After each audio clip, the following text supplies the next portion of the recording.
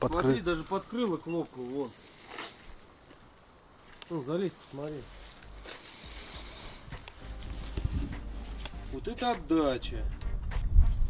Ну, там он, вон, видишь? Да вижу, да. Мы тут немного поспорили, поэкспериментировали, порвали пару веревок. Как говорится, в споре рождается истина. Предмет нашего спора был узел булинь. Для начала будет правильно немного рассказать об этом узле и показать, как он вяжется. А после, собственно говоря, и показать, к чему привел наш эксперимент. Узел довольно популярный в морском деле и среди людей, которые в работе или в спорте пользуются веревками. Булинь или беседочный узел. Один из основных и наиболее древних узлов общего применения. Иногда его называют королем узлов из-за своей простоты и универсальности в применении. Известный факт. Веревка рвется в месте, где завязан узел. Булин снижает прочность веревки от 25 до 40%. Основное его преимущество заключается в легкости развязывания после больших нагрузок. Он несложный и легко вяжется, но из-за некоторых событий, связанных с гибелью людей, международная организация запретила его использовать в промышленном альпинизме. Ну, теоретически этот узел должно было затянуть максимально, да, чтобы я его не мог развязать. Ну, правда, да, веревка мокрая, конечно, его подзакусила, не спорю. Но все равно я его развязываю. Как завязать правильно узел булей? В качестве опоры буду использовать ствол дерева. Обвожу веревку вокруг. У нас получается два конца. Один, на который будет приходить нагрузка, и свободный.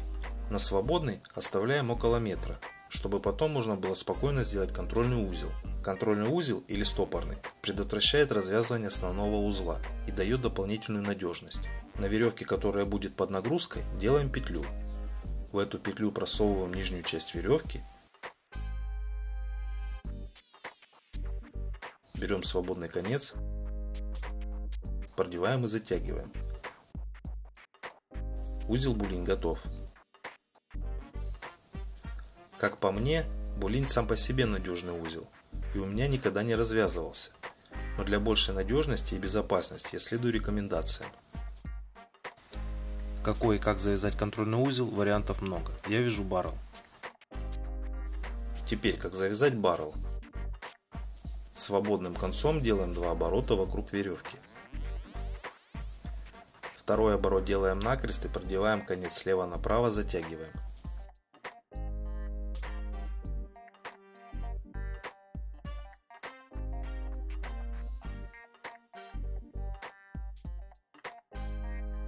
Я сам все завяжу.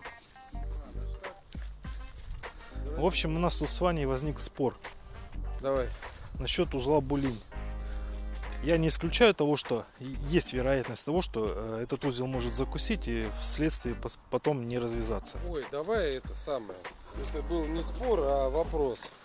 Это Ну, первое. ты доказывал, что такое возможно. Я не исключаю. Я сказал, что булинь, если хорошенько затянуть, то его потом хрен развяжешь. Даже взяли... Держи правильный булинь, ставь машину на нейтралку и на ручник. Вот. Завяжи только покороче. Вяжи, что хочешь, мне по барабану. Булинь-булинь. Покороче. На. Вот второе. Ну погнали. Ну давай. Удиви меня.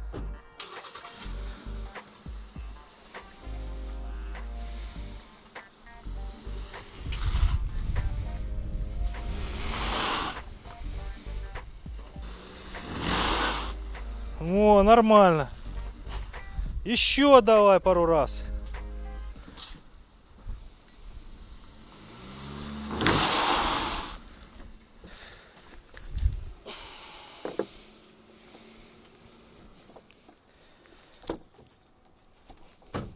Ты меня прям, Ваня, удивил. Я прям вот, ну не знаю, мне так тяжело развязывать этот узел, ну я не знаю. Ну, ну давай, ну может хотя бы этот затянется нормально. Ну блин, ну как такое возможно? Я не представляю.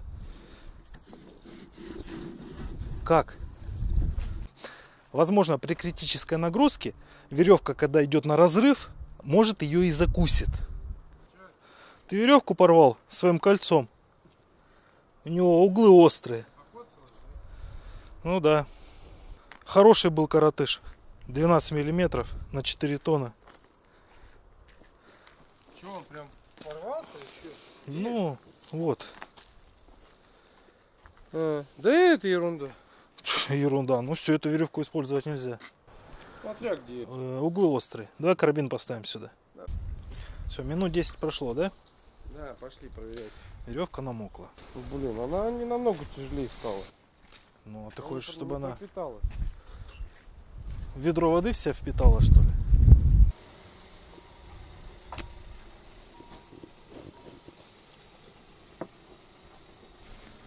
Истина рождается в споре. Так, все. Можешь дергать. Удиви меня. Эх, порвал. Эх, обидно, конечно.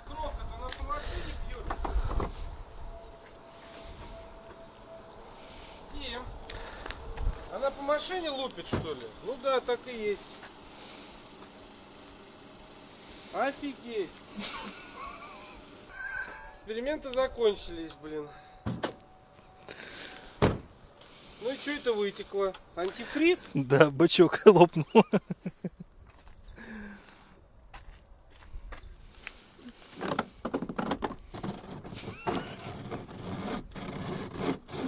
Нифига она зашла.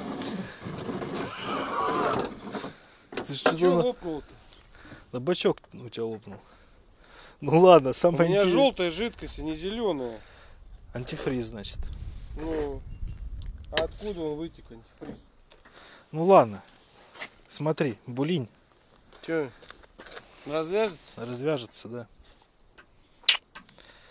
Эх.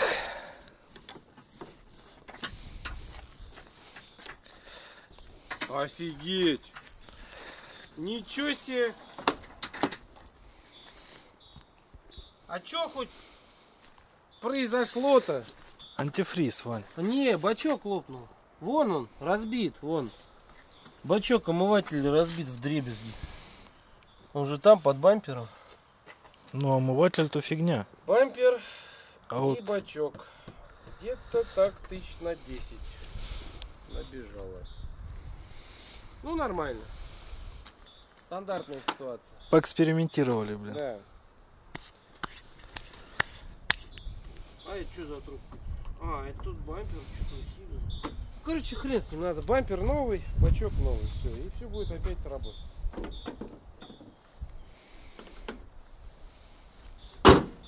Будем тут это самое.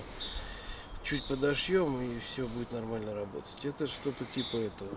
Блин, страшная, конечно, история, но а что делать? Ну, история как история.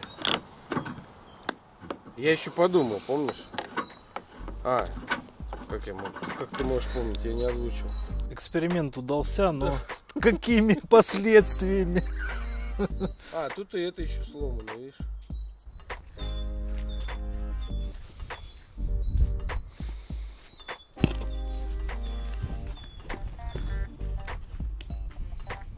Ваше мнение по этому поводу? Да и хрен с ним, да?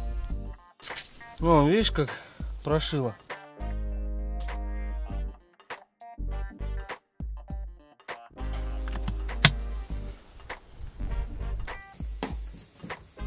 Мы очень старались, даже порвали две веревки. И немного перестарались, давая критическую нагрузку. Прилагаемого усилия было более чем достаточно, но затянуть узел нам так и не удалось. Все, Готово? да, теперь точно все.